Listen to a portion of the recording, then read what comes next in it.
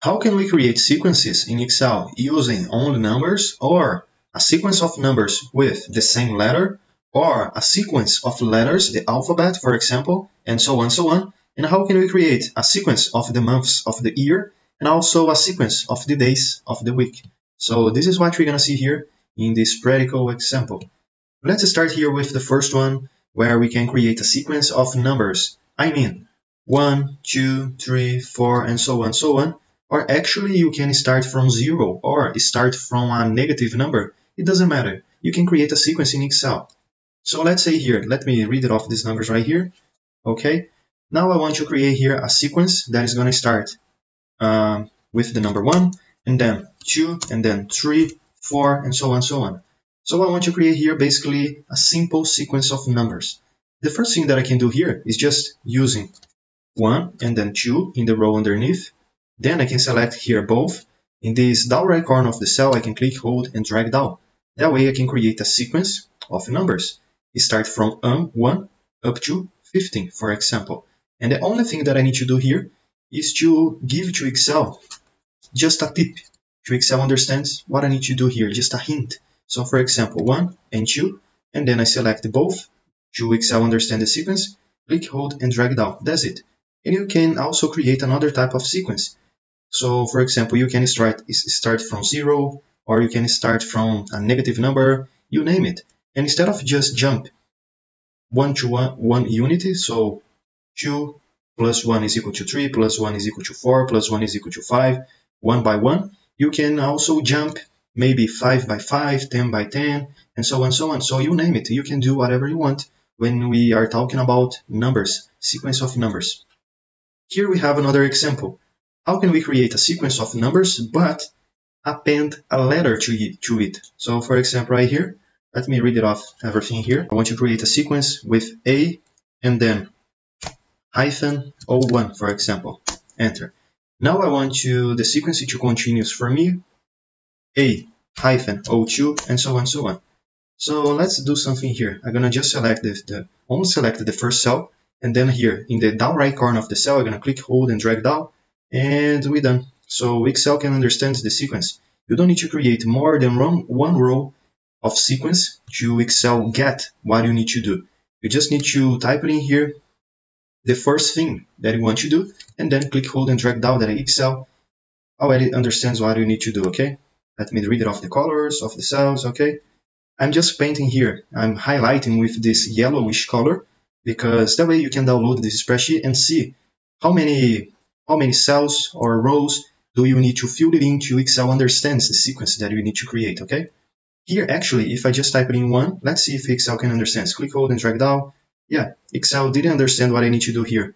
It's just basically copy the first cell, one, one, one, one, one, and so on. But if I click here in this tag to autofill options, I can see fill series. I can click here, and yeah, we're done. So, but basically, we need to fill it in here with two rows. Huh? Now to create a sequence of uh, alphabet letters, for example, we actually can't do it through a sequence in Excel. Of course, there's an, another ways to do it using functions and formulas, but here I'm going to show you an example to basically code the same sequence again, again, and again. Here, for example, let me read it off everything here. I'm going to start with the sequence that is equal to A, B, C, D, E, for example. If I select here these five different letters or these five first alphabet letters that I just typed in here before, click, hold, and drag down. Let's take a look what Excel is going to do here for me. A, B, C, D, E. And then again, A, B, C, D, E, A, B, C, D, E, and so on and so on. So as you can see here, Excel basically doesn't create a sequence using the alphabet, A, B, C, D, A from Z, for example. But it's basically take the five first uh, things that I type in here, and then cope again down below, cope again underneath, and so on and so on. And if I click here in this tag, as I can see, uh, I doesn't have here the option to fill it in the sequence, for example. The only option that I have here is scope cells. Okay, so it doesn't gonna work here. But we can see that uh, if I can create here any type of sequence, for example, this letter right here, I'm gonna just type in here uh, random things, okay? So for example, if I type in something like this and then select everything here, click, hold, and drag down, Excel is going to continue the sequence for me, but not exactly a sequence, just copying the cells, the previous cells, okay, again and again. So it's going to create some groups, copy, copy, copy, copy, and so on and so on. Now let me read it off these things that I just did here, okay? Uh, as you can see here, we can't have a sequence of letters in this extender way that, uh, that we actually are doing here in this spreadsheet. But there is another way that we can create a sequence in Excel using letters. For example, A, B, C, D, E, and so on, so on up to Z uh, using the alphabet. We can use the char function in Excel because the char function can take a number and convert into a letter, for example. And do you guys know 65 is going to be equal to A and 90 is going to be equal to Z. So we can you can use this range of numbers from 65 up to 90 to create a sequence of the alphabet A up to, to Z, okay? So here, let me read it off everything here. In the first cell right here, or actually, let me start with this yellowish, yellowish color here in this in this cell, uh, equal sign, char function. Let me double click here, want you to select the function. Now within this function right here, I'm gonna type it in, for example, the number uh, 65. Close parentheses, I'm gonna press enter. And the result right here is gonna be equal to A, because 65 corresponds, uh, stands for the letter A. Okay, this is why I got here A as result. And if I do it again, equal sign, char function, open, uh, open parentheses, 66, this time, close parentheses, enter. I'm gonna, I'm gonna have here a B as result. But I can't create a sequence using only the char function. Take a look here. I'm gonna select the first cell, click, hold, and drag down. And as you guys can see, all the results are, going to be equal to A. And if I click here in this little tag, I, I don't have the option right here to fill it in the sequence. And if I click here in any cell in the middle, let's say here, for example, as you guys can see, the number within the function continues to be 65. I need to create a way and think, uh, I can't use the 65 over and over again. I need to create a sequence. So the first row is going to be equal to 65 the row underneath is going to be equal to 66, and then 67, 68, and so on so on. And uh, how can I do it? I can do it using a helper column. This is why I have here the I column, where I'm going to use as a helper. So, for example, here I'm going to have 65, and then the row underneath it, 66, 67, and so on so on. But I don't, as we just learned before, I don't actually need to fill it in more than one row or whatever. I just need to click here in this down right corner of the cell, click, hold, and drag down, and then I can click here in the tag, fill series. Okay, that's it. Now instead of using the char function and the number manually type it in within 65, for example, instead we can do something dynamic here. Instead of typing in the number, I can select the cell where I have the number at. So like this, for example. Enter. Okay. Now if I click, hold, and drag down, the function is going to continue to me because it's dynamic. Whenever I click, hold, and drag down, the, the reference of the cell is going to follow along. So that way we can make the sequence using letters and numbers. Let me do another example right here. Equal sign, char function, double click here, one, two. The number that I'm going to use now is the 65. So I'm going to click here in the cell to the right. And enter. Now I can click here in the down right corner of the cell, click, hold, and drag down, and uh, that's it, we're done. So this is how we can create a sequence using the alphabet letters. Or actually, you can use another numbers. And you can see if you are out this range right here, 65 up to 90, you can use some symbols. So maybe if you change here the 65 to maybe, I don't know, I'm gonna give you an example right here.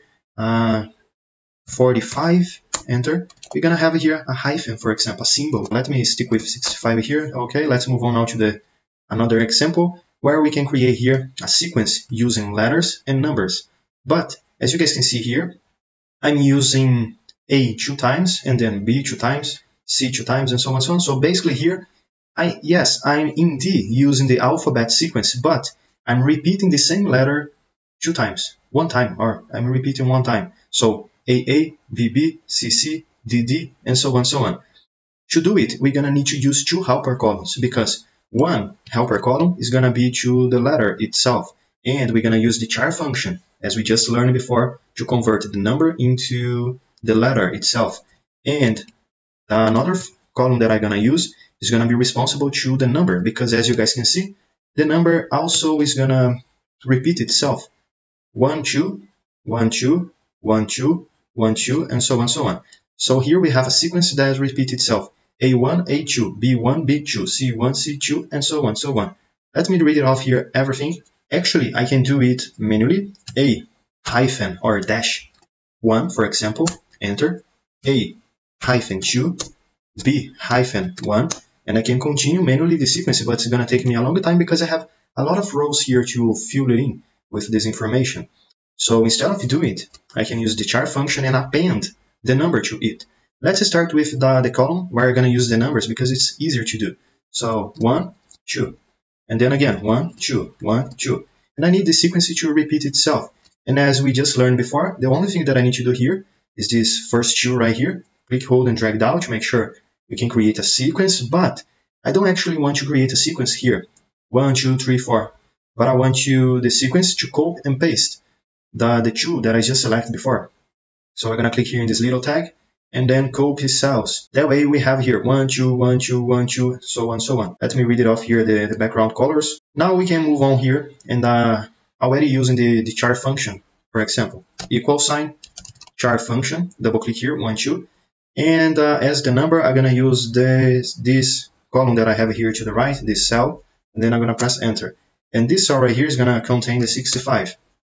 The cell underneath is gonna do basically the same thing. Equal sign, char function, double click here, select this cell to the right. And this cell right here is gonna be again the letter A. And the cell underneath is gonna be the cell uh, B, and then B again. So 66, 66, 67, and so on and so on. So we need to create basically this six, six sequence here using the, the letter, huh? but we need to append the number with the letter.